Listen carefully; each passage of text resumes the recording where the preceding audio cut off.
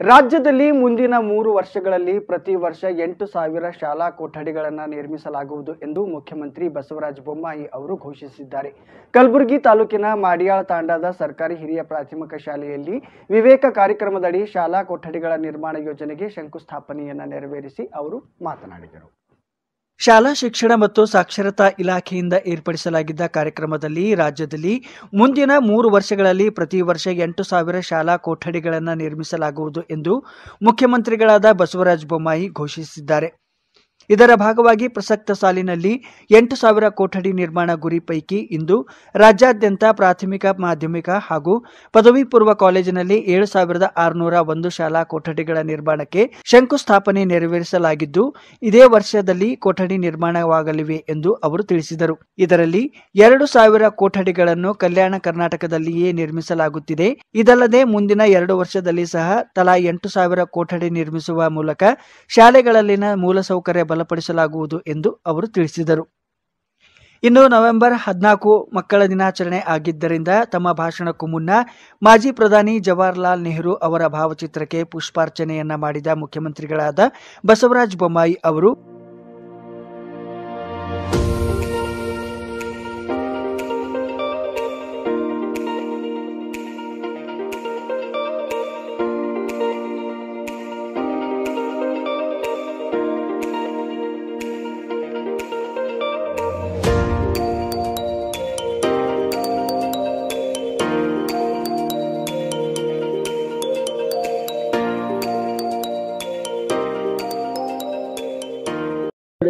ಕಟ್ತಾ ಇದ್ದೇವೆ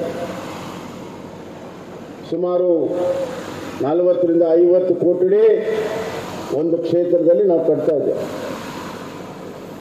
ಇದೇ ರೀತಿ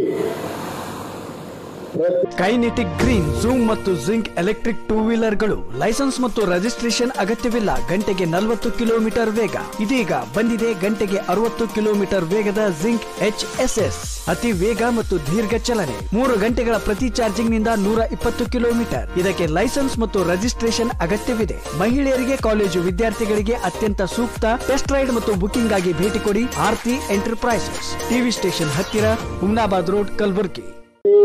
ಇನ್ನು ಎರಡು ವರ್ಷ, ಈ ವರ್ಷ ಎಂಟು ಸಾವಿರ ಬರುವಂಥ ದಿನಗಳಲ್ಲಿ ಎಂಟು ಸಾವಿರ, ಅದರ ಮುಂದಿನ ವರ್ಷ ಎಂಟು ಸಾವಿರ. ನಿರಂತರವಾಗಿ ಎಂಟು ಸಾವಿರ ಕೊಠಡಿಗಳನ್ನು ಕಟ್ಟಿದರೆ ನಮ್ಮ ಕರ್ನಾಟಕದಲ್ಲಿ ಪ್ರಾಥಮಿಕ ಮತ್ತು ಪ್ರೌಢಶಾಲೆಗಳ ಕೊಠಡಿಗಳ ಕೊರತೆ ಸಂಪೂರ್ಣವಾಗಿ ಕಡಿಮೆ ಆಗ್ತದೆ. ಆ ಗುರಿಯನ್ನು ಹೊಂದಿ ನಾವು ಮಾಡ್ತಾ ಇದ್ದೇವೆ. ಒಂದು ದೂರದೃಷ್ಟಿ ಇಟ್ಕೊಂಡು ಇವತ್ತು ನಾವು ಮಾಡ್ತಾ ಇದ್ದೇವೆ. ಕೆಲವರು ಕೇಳಬಹುದು. ಈ ವರ್ಷ ಏನು ನಿಮ್ಮ ಸರ್ಕಾರ ಇತ್ತು ಕೊಟ್ಟಿದ್ದೀರಿ? ಇನ್ನು ಮುಂದಿನ ವರ್ಷ ಚುನಾವಣೆ ಬರ್ತದೆ.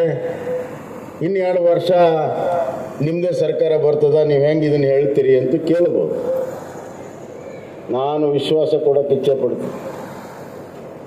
ಒಂದು ಸತಿ ಒಳ್ಳೆ ಕೆಲಸ ಅಭಿವೃದ್ಧಿ ಪ್ರಾರಂಭ ಆದರೆ ನಿರಂತರವಾಗಿ ನಡೆಯುವಂತಹ ಚಾಲನಾ ಮಾಡ್ಯಾಳ್ ತಾಂಡ ಸರ್ಕಾರಿ ಹಿರಿಯ ಪ್ರಾಥಮಿಕ ಶಾಲೆಯ ವಿದ್ಯಾರ್ಥಿಗಳಿಗೆ ಸಿಹಿ ತಿನ್ನಿಸಿ ಮಕ್ಕಳಿಗೆ ಮಕ್ಕಳ ದಿನಾಚರಣೆಯ ಶುಭಾಶಯಗಳನ್ನು ಕೋರಿದರು.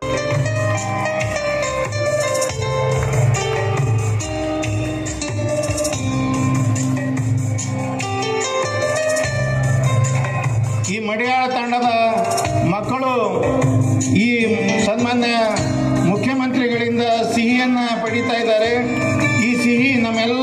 ಮಕ್ಕಳಿಗೂ ಮುಟ್ಲಿ ನಮ್ಮೆಲ್ಲ ಮಕ್ಕಳ ಒಂದು ಶೈಕ್ಷಣಿಕ ಏಳಿಗೆ ಈ ಮೂಲಕ ಆಗಲಿ ಅಂತ ಬಯಸಿ